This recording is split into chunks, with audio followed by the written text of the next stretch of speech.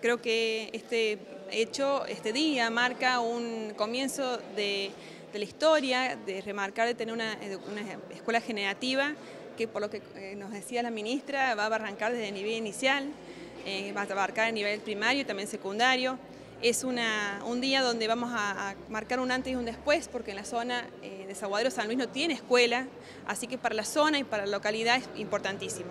Y apostamos a una escuela generativa porque nuestro gobernador, el doctor Alberto Rodríguez A, em,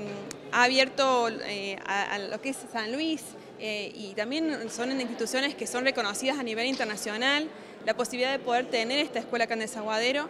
eh, trabajando siempre de la periferia del centro como es lo que nos pide. Actualmente en Desaguadero San Luis tenemos 50 chicos, en variados los niveles, pero en la provincia vecina tenemos muchos chicos más también que tienen domicilio en San Luis y que están ansiosos de poder arrancar la escuela acá.